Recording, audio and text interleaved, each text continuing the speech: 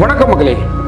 மின்சார வாகனங்கள். பொதுவாக பார்த்தீங்கன்னா ரோட்டில் போகும்போது தீப்பிடிச்சு எரிந்தது நம்ம பார்த்துருக்கோம். சில இடங்களில் வீட்டில் சார்ஜ் போடுவாங்க. இல்லை வெளி இடத்துல சார்ஜ் போடும்போது ஓவர் ஹீட் ஆகி மின்சார வாகனங்கள் வந்து தீப்பிடிச்சு எரிவதை பார்த்துருக்கோம். பொதுவாக இந்த தீப்பிடித்து எரிவது அப்படின்னு பார்த்தீங்கன்னா இருசக்கர வாகனங்களில் எலக்ட்ரிக் ஸ்கூட்டர்ஸில் தான் நடக்கும். ஆனால் இதற்கு முற்றிலும் மாறாக ஓலா ஸ்கூட்டரை வாங்கிய ஒரு வாடிக்கையாளர் அந்த ஓலா ஷோரூமுக்கே தீ வச்சு கொளுத்திருக்காரு. அவ்வளவு காண்டாக்கியிருக்காங்க அந்த ஓலா கஸ்டமரை அந்த கஸ்டமர் தொடர்ச்சியாக அந்த ஓலா டீலர்ஷிப்புக்கு போய் என் வண்டியில் இவ்வளோ பிரச்சனை இருக்குது இந்த பிரச்சனையெல்லாம் சரி பண்ணி கொடுங்க அப்படின்னு சொல்லிட்டு தொடர்ச்சியாக போய் முறையிட்டிருக்காரு. ஆனால் அங்கு வாடிக்கையாளர்களை ஃப்ரண்ட் ஆஃபீஸில் இருக்கக்கூடிய எந்த ஒரு எக்ஸிக்யூட்டிவுமே வந்து சரியான பதில் சொல்லலை.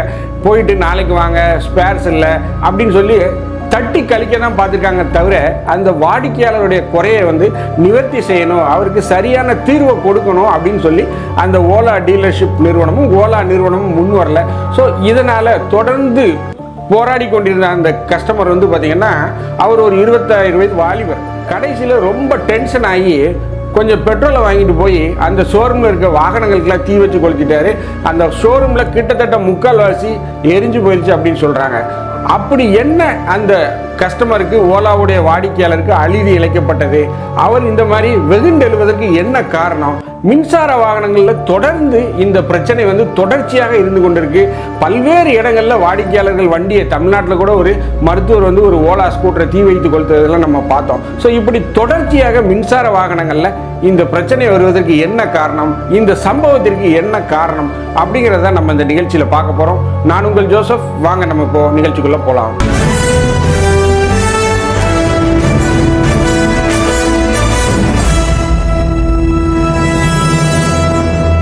கல்புர்கி அப்படின்னு சொல்லி கர்நாடகாவில் ஒரு இடம். அதாவது இது கர்நாடகாவுடைய வடக்கு பகுதியில் இருக்குது நார்த்து கர்நாடகா அப்படின்னு சொல்லலாம். அங்கே இருக்கக்கூடிய முகமது நதீம் அப்படின்னு ஒரு இருபத்தாயிரம் வயது மதிக்கத்தக்க வாலிபர் வந்து பார்த்திங்கன்னா ஆகஸ்ட் இருபத்தெட்டாம் தேதி அந்த ஓலா ஸ்கூட்டரை வந்து அந்த டீலர்ஷிப்பில் போய் வாங்கியிருக்காரு. கிட்டத்தட்ட அவர் ஒரு லட்சத்தி நாற்பதாயிரம் ரூபாய் செலவு செய்து லோன் வாங்கியோ அந்த வாகனத்தை வந்து அவர் வாங்கியிருக்காரு. ஸோ அந்த வாகனம் அவர் சொந்தமாக முழு ரொக்கம் கொடுத்து வாங்கியிருந்தாலும் சரி இஎம்ஐயில் போட்டு வாங்கியிருந்தாலும் சரி அதற்கு முழுமையான தொகை அவர் தான் கட்டியிருக்கார். ஸோ இப்படி இவ்வளோ ஒரு விலை உயர்ந்த ஒரு பொருளை வாங்கியிருக்காரு. ஆனால் வண்டியை வந்து அவர் ஆகஸ்ட் இருபத்தெட்டாம் தேதி அந்த ஷோரூமில் இருந்து டெலிவரி எடுத்திருக்காரு. எடுத்த உடனே பார்த்தீங்கன்னா அந்த வண்டியில் வந்து டிஸ்பிளே வந்து பிரச்சனை ப்ளஸ் பேட்டரியில் இஷ்யூ இருந்திருக்கு. ஸோ அந்த மியூசிக்லேயும் வந்து ஏதோ பிரச்சனை வந்திருக்கு. மியூசிக் சிஸ்டத்தில் அதில் ஏதோ ஒரு பிரச்சனை வந்திருக்கு. ஸோ இதனால் அவர் தொடர்ச்சியாக அந்த கல்புர்கியில் இருக்கக்கூடிய ஓலா நிறுவனத்துடைய டீலர் அங்கீகாரம் பெற்ற முகவரை வந்து போய் பார்த்துருக்காரு. எனக்கு இந்த மாதிரி வண்டி வாங்கினதுலேருந்து பேட்டரியில் இஷ்யூ இருக்குது இந்த மாதிரி நிறைய பிரச்சனைகள்லாம் இருக்குது டிஸ்பிளேல பிரச்சனை இருக்குது ஸோ இதெல்லாம் சரி பண்ணி கொடுங்க அப்படின்னு சொல்லி போய் கேட்டிருக்காரு. பட் அங்கே அந்த ஃப்ரண்ட் ஆஃபீஸில் இருக்கக்கூடிய அந்த எக்ஸிக்யூட்டிவ்ஸ் அவங்கெல்லாம் வந்து பார்த்திங்கன்னா சரியான ஒரு பதிலை சொல்லலை. அதற்கப்புறம் அவர் மேனேஜரை போய் பார்த்து முறையிட்டிருக்காரு. அங்கே உள்ள மெக்கானிக்கல்லாம் சந்தித்து பேசியிருக்காரு. ஸோ யாருமே இவருடைய அந்த பிரச்சனைக்கு தீர்வு கொடுக்கல. மேலும் இந்த முகமது நதீமா சொல்கிறேன் இல்லையா அந்த வாலிபர் வந்து பார்த்திங்கன்னா இவரே ஒரு மெக்கானிக் இவரே வந்து two wheeler mechanic so Ola vehicle மீது இருக்கக்கூடிய ஒரு அபரிமிதமான ஆசையும் மற்றும் மின்சார வாகனத்துக்கு நம்ம போவோம் அப்படின்னு சொல்லி ஒரு முனைப்போடு ஒரு வாலிபர் வந்து கிட்டத்தட்ட ஒரு லட்சத்தி நாற்பதாயிரம் ரூபாய் ஏறக்குறைய ஒன்றரை லட்சம் ரூபாய் கொடுத்து ஒரு வாகனத்தை வாங்கியிருக்காரு. பட் வாங்கின ஒரு பத்து பதினைந்து நாட்களுக்கு இந்த மாதிரி ஒரு பிரச்சனைன்னு வரும்போது யார் தான் ஒத்துக்குவா? வீட்டில் இருக்கவங்களாம் விடுவாங்களா? என்னடா வண்டி வாங்கிட்டு வந்திருக்க? வண்டி வாங்கின நாள்லேருந்து ஒரே பிரச்சனை வண்டி ஓட மாட்டுக்கு அப்படின்னு சொல்லி வீட்டில் இருக்கவங்கெல்லாம் வச்சு செஞ்சுருப்பாங்க. என்ன பிரச்சனையோ அவர் யார் இது பண்ணி விட்டாங்களோ தெரியல. பட் ஆனால் அவர் செய்தது வந்து ஒரு சரியான விஷயமா அந்த ஷோரூமை வந்து பெட்ரோல் ஊற்றி தீ வைத்து எரித்தது வந்து ஒரு சரியான விஷயமா அப்படின்னு பார்த்தீங்கன்னா அது என்னை பொறுத்தவரை வந்து ஏற்றுக்கொள்ளக்கூடியதல்ல. முற்றிலும் ஒரு சட்டத்திற்கு விரோதமான செயல். கண்டிப்பாக அவர் அதை வந்து செய்திருக்கக்கூடாது அவர் பெட்ரோல் ஊற்றி எரித்ததால் பார்த்தீங்கன்னா கிட்டத்தட்ட அந்த ஷோரூமில் இருக்கக்கூடிய டிஸ்பிளேல இருந்த ஒரு ஆறிலிருந்து ஏழு வாகனங்கள் கிட்டத்தட்ட முழுவதுமாக தீக்கிரை ஆகிவிட்டு எரிந்து சேதமடைந்து விட்டது. ஸோ இதனால் அந்த ஷோரூம்க்கு வந்து பார்த்தீங்கன்னா ஏழரைலேருந்து ஒம்பது லட்ச ரூபா வரைக்கும் நஷ்டம் ஆயிருக்கு அப்படின்னு சொல்கிறாங்க மேலும் அவர் அந்த கல்புர்கி பகுதியில் இருக்கக்கூடிய காவல்துறையினர் அவரை கைது செய்து அவர் மீது வழக்கு தொடர்ந்துருக்காங்க. ஆனாலும் இந்த வாடிக்கையாளர் இந்த அளவுக்கு போகிறதுக்கு என்ன காரணம் அப்படின்னு பார்த்தீங்கன்னா தொடர்ச்சியாக அந்த வாடிக்கையாரை வந்து இக்னோர் செய்வது. அவர் வந்து தவிர்ப்பது அவர் வந்து கேட்ட வண்டியை வித்தாச்சு. அதுக்கப்புறம் நீ பார்த்துக்கப்பா அப்படின்னு சொல்லி இந்த சேல்ஸில் இருக்கவங்க வந்து எப்போவுமே அந்த பொறுப்பை ஏற்றுக்கொள்ள மாட்டார்கள். ஒரு வண்டியை நீங்கள் வாங்குற வரைக்கும் ஒரு ஷோரூமில் போய் பார்த்தீங்கன்னா அந்த சேல்ஸ் கன்சல்டண்ட்டோ அந்த சேல்ஸ் எக்ஸிக்யூட்டிவோ உங்களை விடாமல் ஃபோன் பண்ணுவாங்க. சார் எப்போ வர்றீங்க? எப்போ டெஸ்ட் டே பார்க்குறீங்க எப்போ வந்து டெலிவரி எடுக்க போகிறீங்க ஃபைனான்ஸுக்கு பேப்பர் வேணும். ஆதார் கார்டு கொடுங்க பேன் கார்டு கொடுங்க பேங்க் ஸ்டேட்மெண்ட் கொடுங்க. இப்படி தொடர்ச்சியாக உங்களை வந்து ஃபோன் போட்டு ஒரு நாளைக்கு பத்து நேரம் ஃபோன் பண்ணுவோம் வண்டியை டெலிவரி எடுத்ததுக்கப்புறம் பார்த்தீங்கன்னா போஸ்ட் சேல் கால் அப்படின்னு சொல்லி ஆட்டோமொபைலில் வந்து ஒரு ப்ரொசீஜர் இருக்குது வண்டியை விற்றதுக்கப்புறம் அந்த கஸ்டமருக்கு ஃபோன் பண்ணி கேட்கணும். ஒரு ஏழு நாளைக்குள்ளே. சார் வண்டி எடுத்துகிட்டு போனீங்களே? வண்டி எப்படி இருக்குது வண்டி உங்களுக்கு எதுவும் இஷ்யூ இருக்கா? சௌரியமாக இருக்கா? ஏதாவது பிரச்சனைகள் இருக்கா? கொண்டு வாங்க நாங்கள் பார்த்து தரோம். இந்த போஸ்ட் சேல் கால் அப்படின்னு ஒரு இதே இருக்குது விற்பனை ஆனதுக்கப்புறம் வந்து அதை வந்து பெரும்பாலான டீலர்ஷிப்புகளில் செய்வதில்லை. இதை நான் ஏன் பேசுகிறேன்னா எனக்கு ஆட்டோமொபைல் துறையில் கிட்டத்தட்ட ஒரு இருபது ஆண்டு அனுபவம் இருக்குது அதுவும் நான் குறிப்பாக ஓஇஎம் என்று சொல்லக்கூடிய டைரக்டான வாகன உற்பத்தியாளர்கள்ட்ட வேலை பார்த்துருக்கேன். கிட்டத்தட்ட ஒரு இருபது ஆண்டுகள் டீலர் மேனேஜ்மெண்ட்டில் இருந்திருக்கேன். ஒரு ஏரியா மேனேஜர் ஸ்டேட் மேனேஜர் அப்படிங்கிற லெவலில் இருந்திருக்கேன். ஸோ அதனால் நான் என்னுடைய வாழ்க்கையில் நான் அந்த டீலர்களை ஹேண்டில் பண்ணும்போது அந்த எக்ஸிக்யூட்டிவ்களுடன் தொடர்ந்து பல மணி நேரம் நான் வந்து செலவிட வேண்டிய சூழ்நிலை இருக்கும்.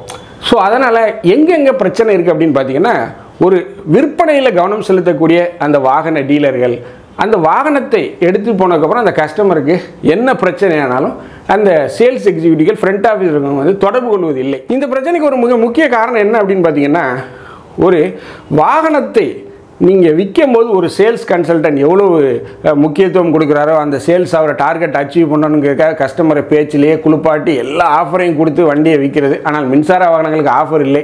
பட் ஆட்டோமொபைல் துறையில் இருக்குது எவ்வளோ ஆஃபர் இன்சூரன்ஸ் ஆஃபர் தரேன் எக்ஸ்சேஞ்ச் போனஸ் தரேன் லாயல்ட்டி போனஸ் தரேன்னு சொல்லி எல்லாமே கொடுத்து வண்டியை தள்ளி விட்டுறது. பட் அந்த வண்டி டெலிவரி பண்ணும்போது என்ன செய்யணும் அப்படின்னா சார் நீங்கள் வண்டி வாங்கிட்டீங்க. இதுதான் எங்கள் ஒர்க் ஷாப்புன்னு கண்டிப்பாக அந்த ஒர்க் ஷாப்பை கூட்டி கொண்டு அந்த கஸ்டமர்களுக்கு காட்டுங்க. நீங்கள் வண்டியை வாங்கிட்டீங்க. இதோட என்னுடைய பணி முடியுது. இதற்கப்புறம் உங்களுக்கு சர்வீஸ் ரிலேட்டடாக இஷ்யூஸ்னால் நீங்கள் எங்கள் ஒர்க் ஷாப் போகணும். இவர் தான் வந்து ஒர்க் ஷாப் மேனேஜர் இவர் தான் வந்து சர்வீஸ் அட்வைசர் இங்கே தான் நீங்கள் ஜாப் கார்டு போடணும். இவங்க தான் உங்கள் வண்டியை பார்ப்பாங்க. பீரியாடிக் மெயின்டெனன்ஸ் நீங்கள் பண்ணணும். அப்படிங்கிற அந்த தகவல்களை வந்து செய்வதற்கு அந்த முன்னெடுப்பை வந்து கஸ்டமர்கிட்ட சொல்லணும். இப்படி தான் ப்ரொசீஜர் அப்படிங்கிறத சொல்லி கஸ்டமருக்கு அந்த இதையே சொல்லணும். பொதுவாக பார்த்தீங்கன்னா இந்த டூ வீலர்கள் எல்லாம் பார்த்தீங்கன்னா ஷோரூம் அதற்கு பின்னாடியே ஒர்க் ஷாப்புங்கிறது இருக்கும். கண்டிப்பாக அவர்களால் செய்ய முடியும். பட் ஆனால் இந்த விஷயங்கள் செய்யப்படுவதில்லை. பெரும்பாலான டீலர்ஷிப்பில் ஓஇஎம்களில் செய்யப்படுவதில்லை அப்படிங்கிறத நிதர்சனம். ஆனால் இந்த மின்சார வாகனத்தை வாங்கிய நதீம் முகமது நதீமுக்கு வந்து பார்த்தீங்கன்னா தொடர்ச்சியாக இவர் வந்து புறக்கணிக்கப்பட்டிருக்கிறார்.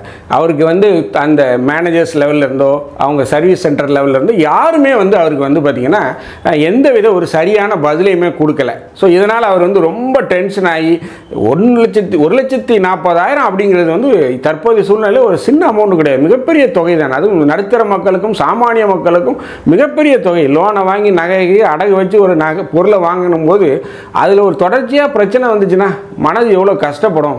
அதுக்கு சரியான பதில் சொல்லலை அப்படின்னா ஸோ இது வந்து ஒரு மிகப்பெரிய பிரச்சனை. மேலும் டீலர்களில் இருக்கக்கூடிய மிக முக்கியமான பிரச்சனை என்ன அப்படின்னு பார்த்தீங்கன்னா அந்த சேல்ஸுக்கு நீங்கள் வைக்கக்கூடிய அந்த மேன் பவர் கஸ்டமருக்கு ரிப்ளை பண்ணக்கூடிய அந்த மேன் பவர் இருக்காங்க இல்லையா உங்களுடைய தொழிலாளிகள் ரொம்ப பொறுப்பானவர்களாக இருக்க வேண்டும். நீங்கள் குறைந்த சம்பளத்தில் வைக்கணும் ஒரு ப்ளஸ் டூ படித்த பொண்ணை வச்சுக்கணும் இல்லை குறைந்த சம்பளத்தை ஒரு ஆளை வச்சுக்கணும் அப்படின்னு நீங்கள் நினச்சிங்கன்னா உங்களுடைய பிரச்சனை வந்து கஸ்டமர்களில் மிக பெரிய அளவில் அதிகரிக்கும் முட்டி மோதக்கூடிய சூழல். ஏன்னா கஸ்டமருக்கு பொறுப்பான பதில் சொல்லணும் அந்த கஸ்டமர் உங்கள்கிட்ட இருந்து ஒரு கடலை மிட்டாய் வாங்கலை ஒன்றரை லட்ச ரூபாய் பொருளை வாங்கியிருக்காரு.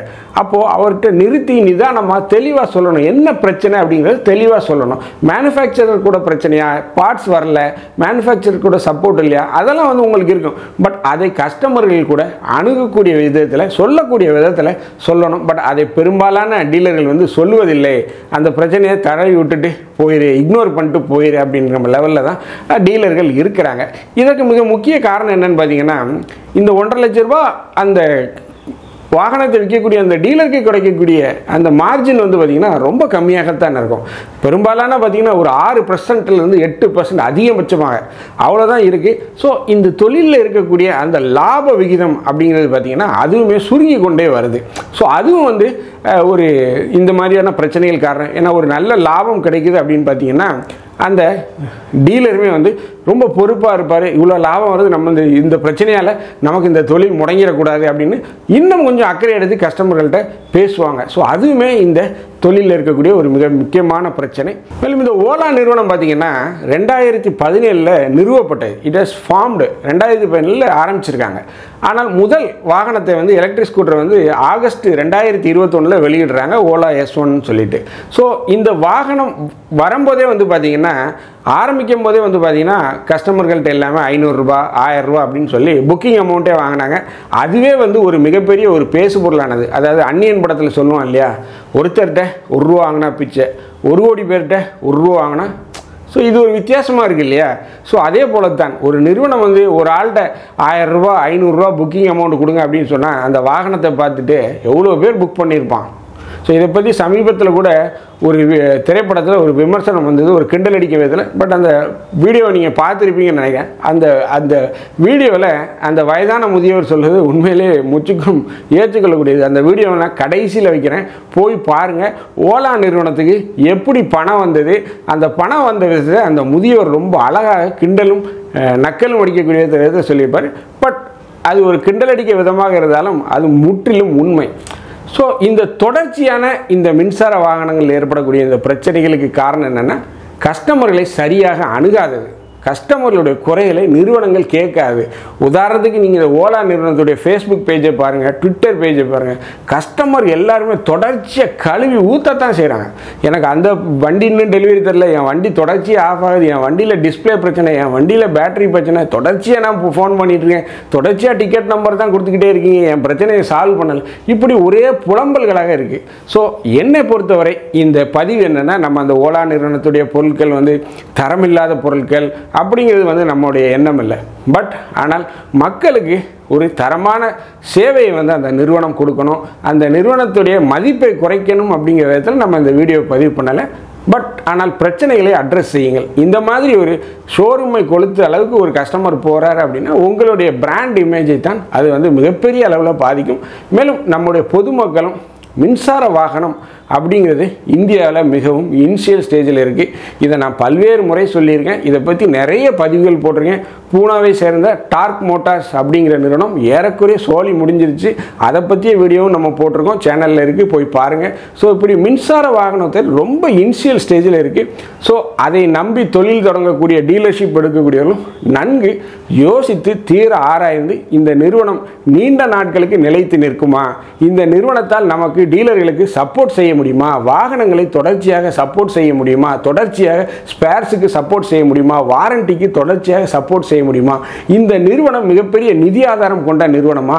அப்படிங்கிறதெல்லாம் யோசித்து இந்த மின்சார வாகன டீலர்ஷிப்புகளை எடுங்கள். அவசரப்பட்டு எடுக்க வேண்டாம். இந்த வீடியோ முழுவதுமே ஒரு விழிப்புணர்வு பதிவு தான் இந்த வீடியோ உங்களுக்கு பிடிச்சிருந்துச்சுன்னா தயவுசெய்து லைக் பண்ணுங்கள் ஷேர் பண்ணுங்கள் சப்ஸ்கிரைப் பண்ணுங்கள் மறக்காமல் உங்கள் கருத்துக்களை கமெண்ட் செக்ஷனில் சொல்லுங்கள் நன்றி வணக்கம்.